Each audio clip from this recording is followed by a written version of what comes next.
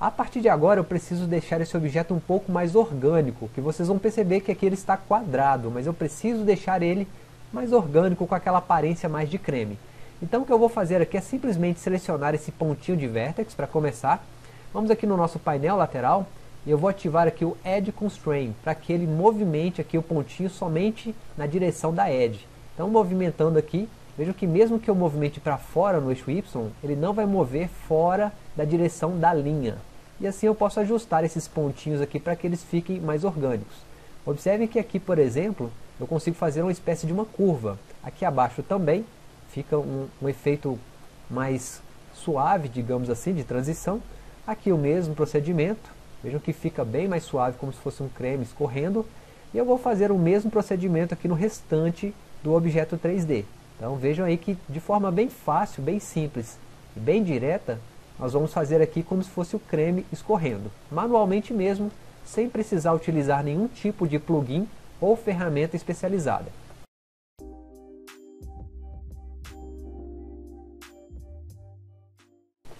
Agora que já criamos alguns efeitos de curvas, eu vou voltar aqui nessas partes aqui que nós descemos e vou estreitar elas um pouco. Então vou utilizar a ferramenta Select and Scale e vou deixar também um efeito mais orgânico, digamos assim.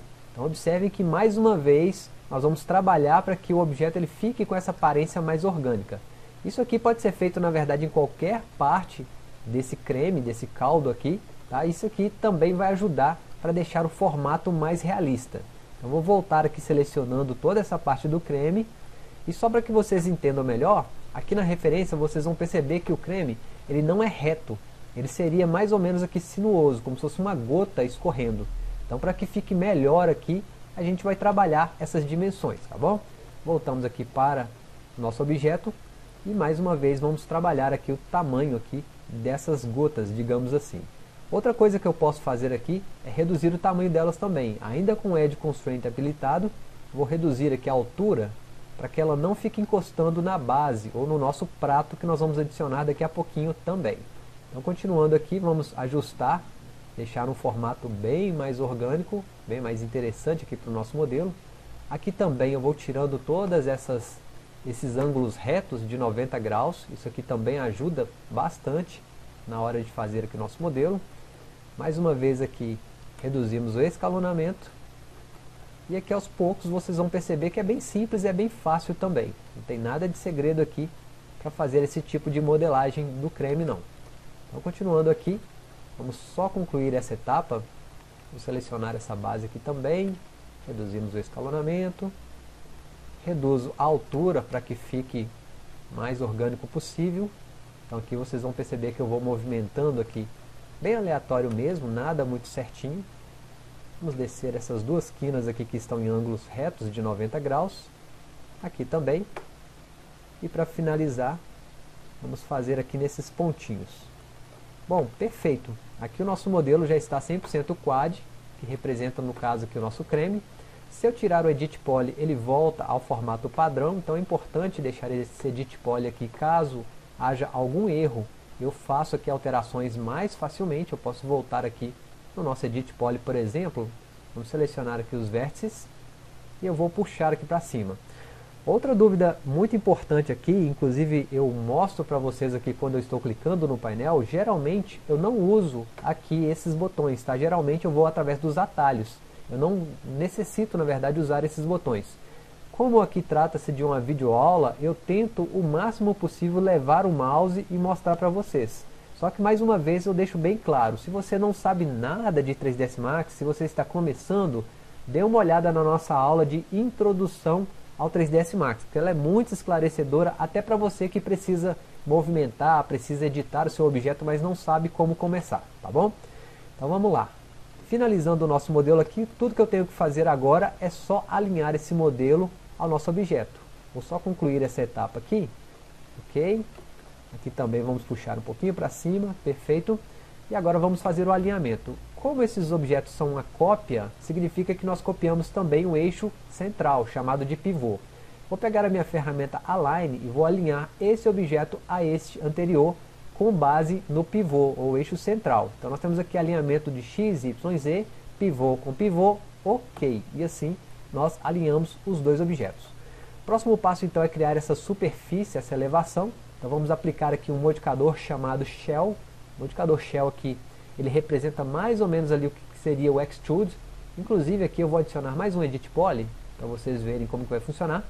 Selecionamos todo o elemento e aplicamos agora um Extrude aqui em Edit Polygon. Vamos ver aqui o Extrude, que vocês vão ver que ele vai fazer aqui uma superfície. Colocamos como local normal. Ele vai fazer essa superfície aqui para a gente deixamos ajustado aqui na altura desejada. Além desse modificador Edit Poly, eu posso utilizar também o modificador Shell. Então pegamos aqui o modificador Shell, vamos aplicar aqui acima. O modificador Shell ele cria essa superfície. A única diferença é que no Shell ele vai criar dois lados. Então isolando o nosso objeto, nós temos esse lado de baixo aqui na ferramenta Shell e no Edit Poly nós não temos.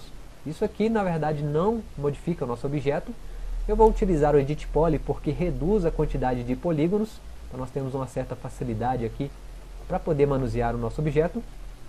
E falta somente criar o nosso efeito, que é esse efeito aqui de viscosidade. Vamos começar aqui aplicando o modificador Turbo Smooth.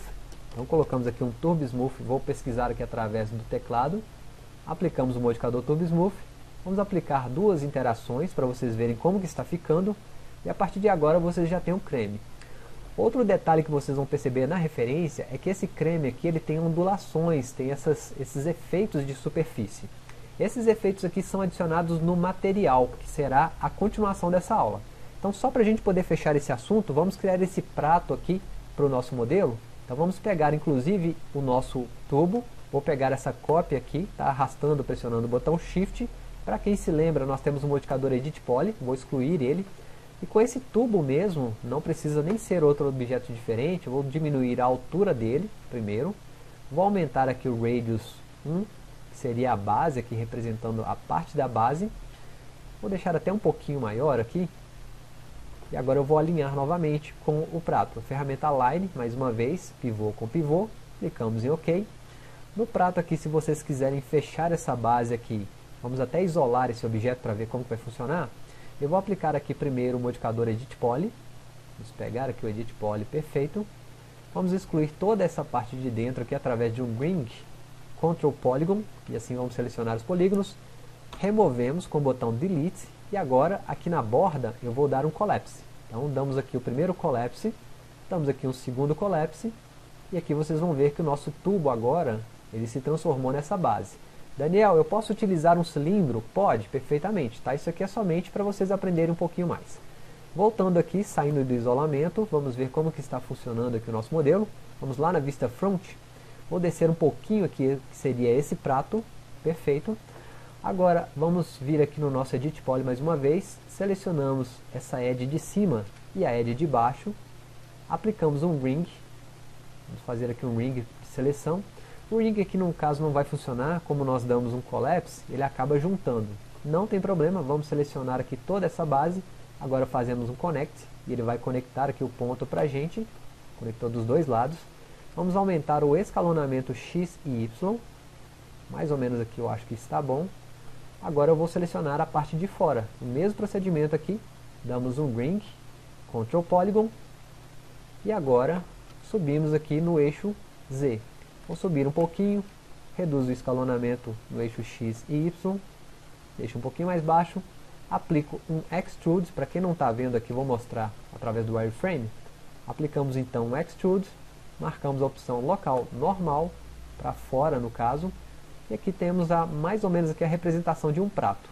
Para deixar ele um pouco melhor, eu vou reduzir essa borda, deixar um pouquinho mais fina, e vou aplicar um chamfer aqui nessas linhas. E assim nós vamos deixar ele mais arredondado. Então pegamos aqui as linhas primeiro, fazemos um loop e finalmente um chamfer. E assim nós vamos ter essa suavização aqui dessas quinas, tanto na parte de dentro quanto na parte de fora. Além disso, podemos aplicar aqui também, vamos fazer um loop e um chamfer, só para finalizar aqui o nosso modelo 3D. E aqui já temos o nosso modelo finalizado. Bom, na continuação dessa aula eu vou mostrar para vocês como fazer um material e também como renderizar esse objeto além de mostrar como fazer a modelagem desse creme aqui dentro do 3ds Max. Só lembrando a você que ainda não é inscrito lá no nosso canal do YouTube, aproveita para se inscrever também. Se você estiver no nosso site vai ter links que você possa ir direto para o YouTube.